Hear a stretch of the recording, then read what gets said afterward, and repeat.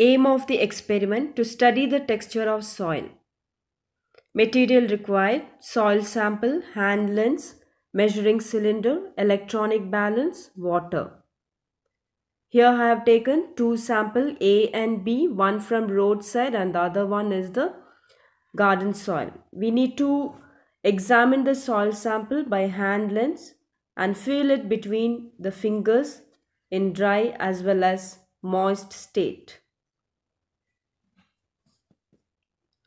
Now take about 50 grams of soil using the electronic balance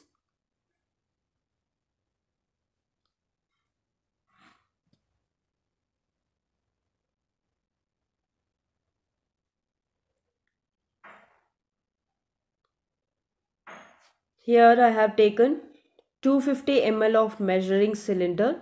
Now we need to add this 50 grams of soil into this measuring cylinder. Add 200 ml of water.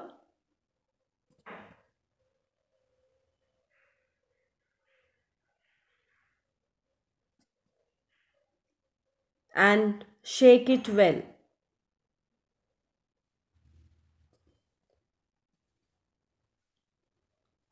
Now allow the soil particles to settle down for a few minutes. Now record the thickness of the layer formed by different types of particles in the measuring cylinder and calculate the relative percentage. Similarly, we have to record the relative percentage for other soil. Coming to the observation table, this is the tabular column, soil sample A and B. Note down the color for A and B texture for A and B, the relative percentage for a, sand percentage, silt percentage and clay percentage for soil A and B. So depending upon this, we need to find out the nature of